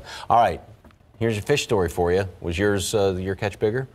Uh, my, I lost mine. Uh, that's a pretty good sized largemouth bass. I don't know what body of water he is, but uh, it must have been Guadalupe out towards Seguin. Yeah. Somebody, nice catch and release. Yeah. On a plastic bait. Thank you for the play-by-play on that No one. problem. I'm, I'm impressed. Darker color plastic bait works weather in uh, weather in uh, better, Better? rather, in Better weather? cloudy water like that, muddier water. It's easier for the fish to see see. it for? Oh, yeah. Very interesting. Thank you for the fishing tips. All right, here's live cam right now, and uh, you need some dark plastic bait, I think, in this to see better because don't use your high beams, that's for sure, because of all that thick fog out there. And dense fog advisory remains in effect till 10 o'clock this morning for pretty much the heart of our area, although there is a lot of fog off here uh, to the west. Castroville, quarter mile, but these numbers really haven't changed all that much, like Marcus was talking about, because we just keep getting all this humidity it. There's nothing that's changing in the in the atmosphere really. So that's why these conditions really haven't changed all that much. A lot of thick fog along the rio grande uh, Cotulla at a half mile kerrville one mile two at fredericksburg and no zero visibility right now but it is definitely thick out. And of course the roads are damp as well. Mid 50s everything's really consistent in a situation like this because of the cloud cover all this moisture in the atmosphere. A couple of showers uh, down along the coastal plain which this computer model does keep those basically down there to the southeast. There may be one or two of them that try and move on in later on today.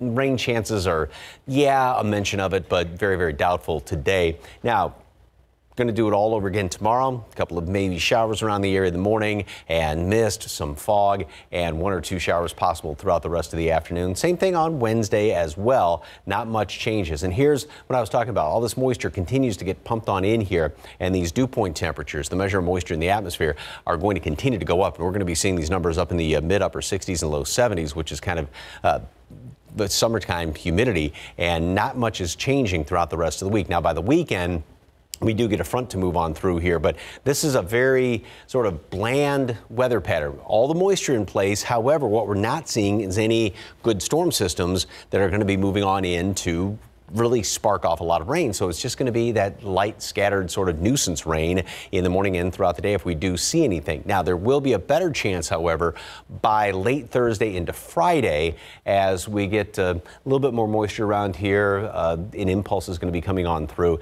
and that's hopefully going to touch off some more decent rain around the area. And then this front will come through on Saturday and that's going to uh, well, get rid of all the humidity and once again give us a fantastic looking weekend. Today we'll make it up to 62 at noon, so we're not going to see a big jump in temperatures throughout the day. We uh, will fluctuate about 10 degrees between the low and the high later on today. Maybe a shower.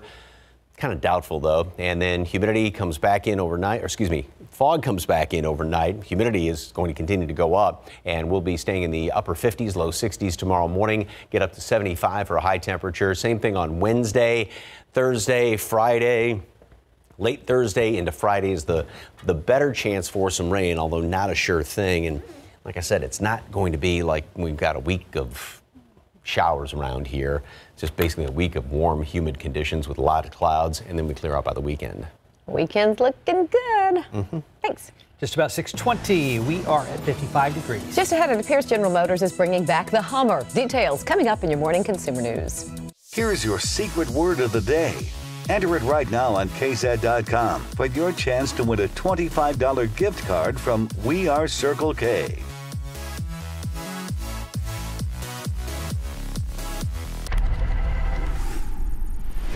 The drama Just Mercy tied for fourth place in its first weekend of wide release, earning $10 million. The comedy Like a Boss tied Just Mercy at number four, launching with 10 million of its own.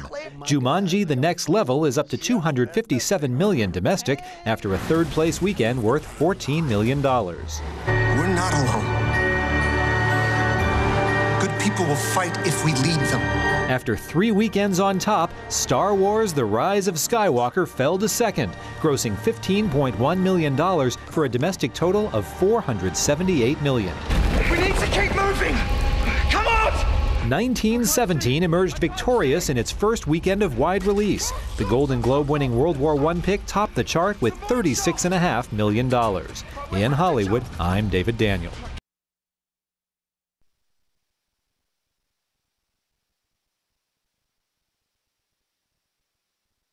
If your mouth is made to amaze, let Philips Sonicare give its care a raise. If your teeth chew beyond their limit, they've earned 62,000 movements a minute. If your mouth's used to a manual clean, get healthier gums in two weeks, guaranteed. If your amazing mouth does more than its share, give it Philips Sonicare. Next level clean, next level care. There's always a way to make life better. Philips Sonicare. Are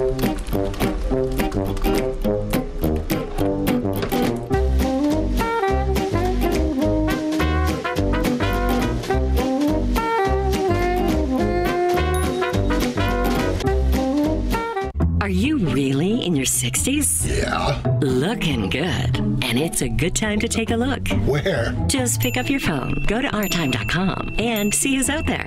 Pretty easy, huh? Our Time, the dating site for people over 50.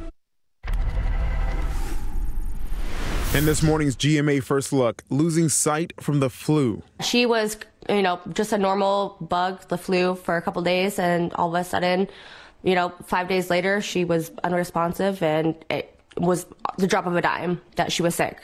Amanda Phillips says her four year old daughter, Jade, who got a flu shot in March but not for this season, was placed on a ventilator after she was diagnosed with influenza B. I didn't think I was going to see her again. She was later diagnosed with acute necrotizing encephalopathy, an extremely rare disease usually preceded by a viral infection, resulting in rare inflammation in her brain affecting her ability to see. Can you find it, Victor? Is it hard to see? Jade's mom says she lost her vision and is not sure she will ever get it back. Coming up at 7 a.m., we'll hear from the doctors working on this rare case and tell you what you need to know to keep your children safe. With your GMA First Look, I'm Kenneth Moton, ABC News, New York. Also ahead on GMA, get your ballots ready. So, which of Hollywood's biggest stars will wake up with an Academy Award nomination? Good Morning America is Oscar Central, and they will carry every nomination live with instant reaction from the proud nominees. And it all begins at 7. Now to consumer news and from gas guzzler to no gas at all. General Motors reportedly going back to bring the Hummer name into the fold, but this time it will be an all electric pickup from GMC. Wall Street Journal reports it will be announced during a Super Bowl commercial with Mr. LeBron James. Samsung's next phone will be the Galaxy S20. New leaked photos confirm the phone's name.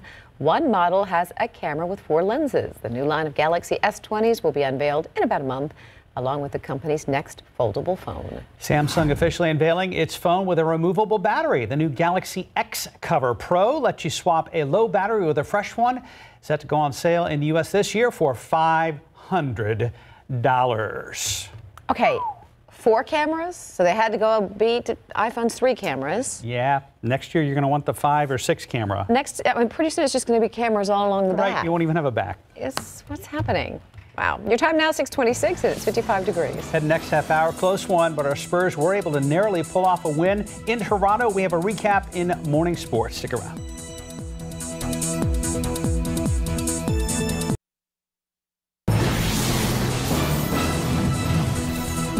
Take a look at TransGuide right now. There's 410 at Callahan. Fog, and uh, you can't see a darn thing. 281 and Winding Way. There's 37 at Carolina, so pretty widespread fog here in the San Antonio metropolitan area. And taking a look outside with live cam. Boy, it's a lot of fog out there all over the place, and we have dense fog advisories, which Mike is standing by with details on coming up. Good morning to you. It is Monday, January 13th. Thanks for being with us this morning. How's it been on the roadways? Well, surprisingly, it, on the highways itself, it's been fairly decent. Now, we've not had the number of accidents we would expect with all this fog. Mhm. We do have one major accident, uh, Vance Jackson at Wurzbach, but as far as highways are concerned, so far, no problems. A big change from yesterday morning. We actually had some frost around parts of the area Sunday Yeah, morning. Temperatures are about 20 degrees, 20 to 30 degrees warmer than what they were at this time uh, yesterday. And yeah, there is still plenty of fog hanging around the area. Temperatures are very consistent in the basically mid 50s, and visibility in some places is down to just about pea soup. There's a little bit of mist hanging around here. I haven't seen any actual showers in our vicinity. There's some down along the coast. There may be a shower later on today. I kind of doubt it though. 65 for a high temperature. And get used to not only the fog, but clouds and very warm temperatures because that's what is in store for the rest of the week. And here's a look at the live cam. This is out there by the airport, and that's 410. Airport would be back up in there. Visibility, well, yep, it's pretty thick. Dense fog advisory up until 10 o'clock this morning for most all of the area. Still a quarter mile out at um, the airport. Boerne is still at zero. Quarter mile New Braunfels, Pleasanton, everybody is got very, very thick fog and it extends pretty much far and wide. Obviously, it's a little bit better around Gonzales and LaGrange, uh, Corpus Christi, Laredo, but even along the Rio Grande There's some very thick fog out there, despite the fact you're not in the dense fog advisory. There's those showers down along the coast, which are eh, just a few sprinkles here and there. And like I said, there may be one or two sprinkles later on today, but I wouldn't really count on it though. Mountain Cedar, yesterday's reading dropped down by about a fourth of what it was the previous day, which is good news. And mold looks like it's probably going to be going up given the fact we've got so much moisture in the forecast around here. Weekend right now is looking pretty good. Now the front moves through. Details on that coming up in just a couple of minutes. Time saver traffic right now. And you were just scurrying back from the uh, computer. Anything new coming up? Well, that accident has cleared. Okay. Bach had Vance Jackson. As we take a look at the roadways, ex- I expected to see a lot of a lot more uh, uh, orange and yellow from the slowdowns, uh, but this is just the usual slowdowns that we have for this time of the morning up there. Bandera 1604 area, of course, those eastbound main lanes headed from Bandera backward towards the I-10 1604 interchange, and also southbound 35 as you're making your way towards 1604 from New Braunfels and beyond. Let's take a look at a couple of TransGuide cameras. Right now, I-10 looks pretty good there. 37 and 410 Still no sign of the roadway past that fog. And this is what we are commenting earlier. Looks like there's a lot of water down there. That's just a reflection of the fog and plus the lights underneath the highway there, I-10 1604. No changes, I-10 and Callahan. So, so far, so good. Just remember, watch that following distance once you head out, folks. Reduce that speed, increase that following distance. Leslie? Thank you, Marcus. San Antonio police are still looking for suspects in a shooting at a far west side apartment complex. A woman is in the hospital after being shot during the incident. It happened yesterday afternoon around 5 in the 11,500 block of Wild Pine. Right now, investigators believe an argument between two groups of people led to the shooting. No arrests have been made. In to headlines, it's going to be a busy week for the Trump administration, still dealing with the impeachment controversy as well as fallout from that drone strike that killed a top Iranian general. CNN's John Lawrence has a look ahead.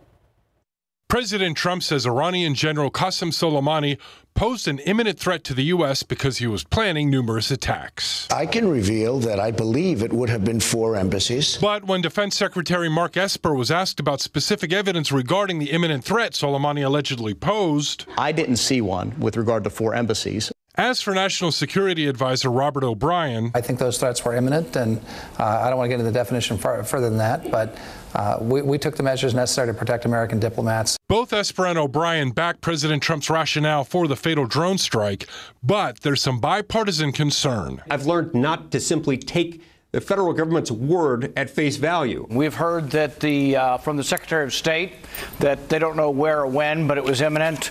That to me does seem inconsistent. Democratic Senator Chris Murphy of Connecticut tweeting Friday that there was no mention of planned embassy attacks at last Wednesday's briefing, ending with there was no such imminent threat. Frankly, I think what they are doing is they are overstating and exaggerating what the intelligence shows. I'm John Lawrence reporting. Today, David Calhoun begins his new job as Boeing CEO and president. The company had said the change in leadership was necessary to restore confidence in the company. It comes as it works to repair relationships with regulators, customers, and all other stakeholders after the grounding of its 737 MAX aircraft that was involved in two crashes, killing 346 people. Also today, Queen Elizabeth is hosting a summit of senior royals to discuss the future roles of the Duke and Duchess of Sussex. People are still buzzing about the news. The couple is stepping back as senior members of the royal family. Meghan is expected to join the discussion over the phone. She's in Canada with their son Archie. Trending now at KSAT.com wasn't the ending Texans fans were hoping for, not in the least. After a first quarter flop, Patrick Mahomes and the Kansas City Chiefs made a comeback, scoring 41 consecutive points, beat the Texans 51 31. Now, Chiefs head to the AFC title game where they will host the Tennessee Titans. Green Bay a step closer to the Super Bowl after beating the Seahawks 28-23. The Packers headed to California to play the top-seeded San Francisco 49ers in the NFC Championship. The winners of both those games will go on to the Super Bowl on February 2nd. A nail biter of a win for our Spurs in Toronto. Barely beat the Raptors, the defending champs.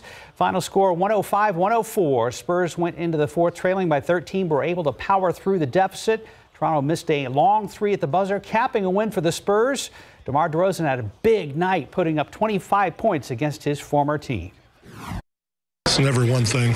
I just think we just kept playing and Uh, we got more and more aggressive as the half went on and uh, didn't really make a lot of shots, but I thought defensively uh, we gave ourselves an opportunity to win and it worked out. Sometimes the zone can slow you down a little bit. Uh, we were able to get stops and get back in transition, attacking the hoop, um, finding each other, and we started to make some shots. So uh, it was huge for us down the stretch, and we were able to get back in the game and then find a way to win. Our Spurs headed to Miami to take on the Heat Wednesday night at 6:30. Right now, the Spurs are 17 and 21, currently sitting at ninth place in the NBA Western Conference. Get the best sports coverage in town from the pros to local sports. Make sure to watch instant replay Sundays at 11 p.m. after the night beat. Be sure to follow Greg Simmons, Larry Ramirez, and the rest of the KSAT sports team on social media. They've got you covered. 637, 55 degrees. After the break, what you need to know before hiring a contractor.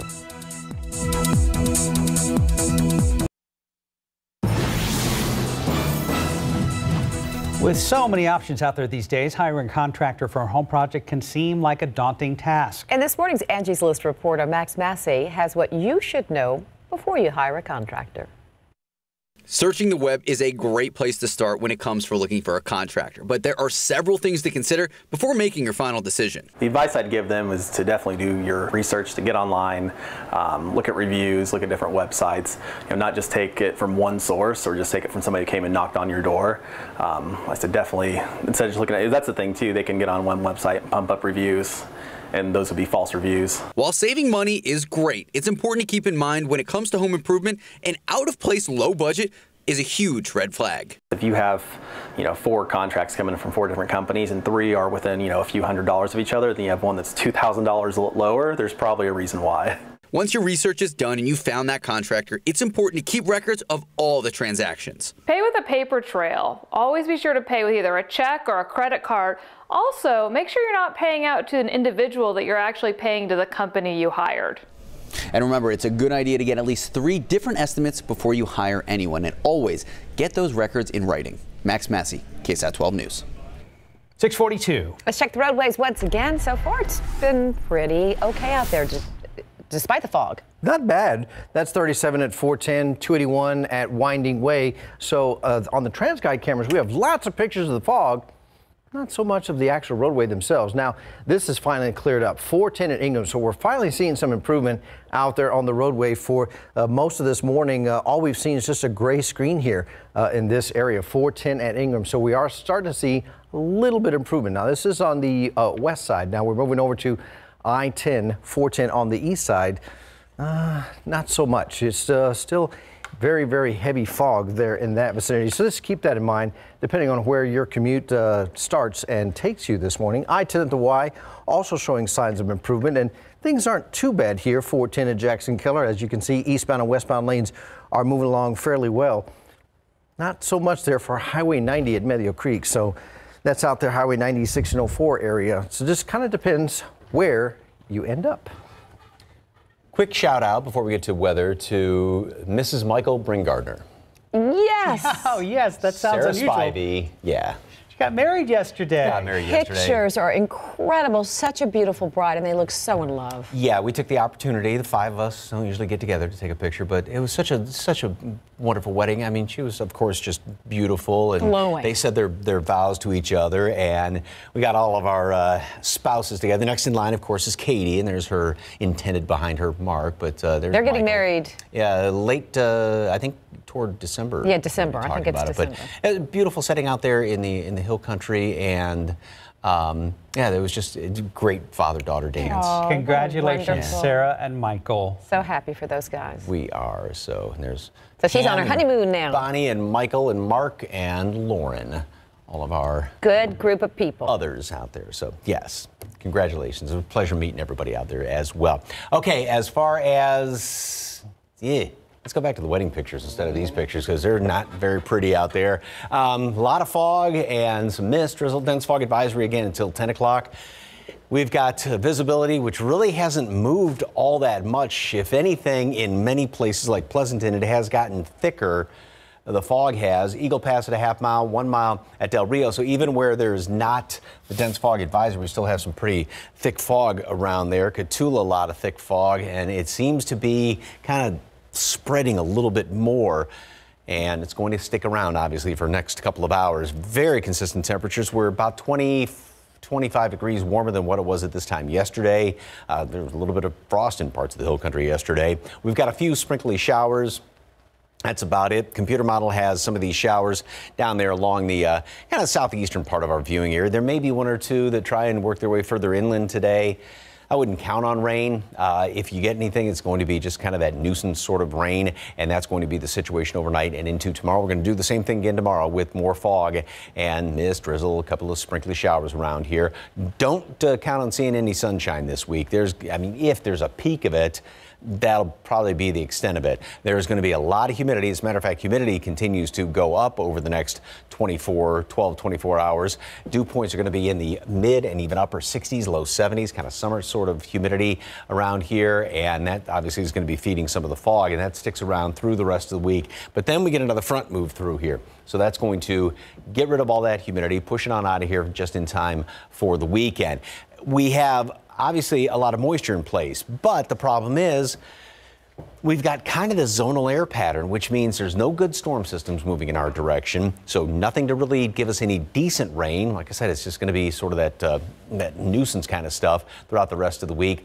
There is, however, a little bit better chance for a few showers late Thursday into Friday as that next uh, front approaches here, and even a couple of thunderstorms on Friday. Although as of right now, it's obviously still a few days off, but it's not looking that encouraging yet. Then this front moves on through here. That's going to put us into a northwesterly flow, get rid of some of this humidity for the weekend. But even in behind that, still kind of a uh, well, sort of a benign pattern, if you will. So not anything really really to write home about even going into next week. Today, 62 degrees at noon, cloudy skies, even perhaps some leftover fog around at noon, and then later on today, 65 for a high temperature. So one of the uh, traits of having all this cloud cover and humidity around here is temperatures really don't go too much from high to low. You swing about maybe 10 degrees, 15 degrees perhaps. We'll start off uh, upper 50s close to 60 tomorrow, then get up to 75 degrees with more fog around here. And a couple of showers are possible. Same thing Wednesday, Thursday, perhaps a bit better chance of rain overnight into Friday. Showers, a couple of thunderstorms, and we are still looking at a more of like a January sort of a weekend. Wow. All right, thank you much. Mm-hmm. 647, 55 degrees. Coming up tomorrow on GMSA, how security systems have expanded to cover all aspects of the home. The news you need to know before you go is coming up. And of course, we're going to take another extensive look at time saver traffic with Officer Marcus Trujillo. Next year's Golden Globe Awards don't even have a date yet, but they do have hosts. Tina Fey and Amy Poehler are set to return in 2021 to host the Globes for the fourth time. The announcement came less than a week after Ricky Gervais hosted for the fifth, and he promised the last time. Wait, am I going to be the story? No. No. I'm going to be the story. No. If you were amazed at how Bombshell turned Charlize Theron into Megyn Kelly, you weren't alone. The Makeup Artists and Hairstylists Guild gave the film three honors at its seventh annual awards Best Contemporary Makeup, Best Special Makeup Effects, and Best Contemporary Hairstyling. Joker received Best Period and or Character Makeup, while Downton Abbey was honored for Best Period Hairstyling and or Character Hairstyling. Last year's dispute between Ariana Grande and the Grammys appears to be water under the bridge. The singer and the award show both announced she's set to perform on the January 26th award show. Last year, Grande didn't perform or even attend after a dispute with show producers, reportedly over what songs she would sing. In Hollywood, I'm David Daniel.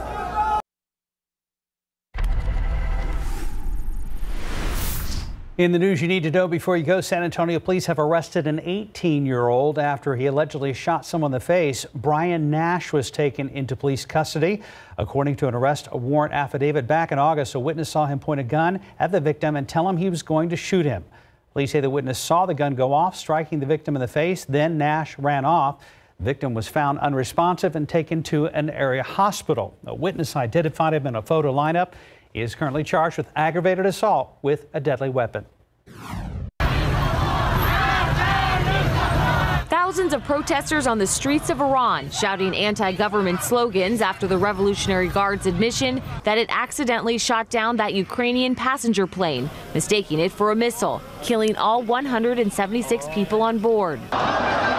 Just last week, Iranians were united, protesting the U.S. after the killing of Qasem Soleimani. Now, Iran's unity weakened in a sudden reversal. Protesters tearing down posters of the slain leader. President Trump offering support to the Iranian people, tweeting in Farsi and in English, My administration will continue to stand with you. And later sending a tweet aimed at the leaders in Iran. Do not kill your protesters. The world is watching. More importantly, the USA is watching. Turn your internet back on and let reporters roam free. Stop the killing of your great Iranian people. Here at home, Trump insisting Qasem Soleimani was planning attacks against American embassies before he was killed in that drone strike. That but Defense is- Secretary Mark like Esper was asked on CBS if there was specific evidence of an imminent threat. I didn't see one with regard to four embassies. What I'm saying is I share the president's view that probably my expectation was they were going to go after our embassies.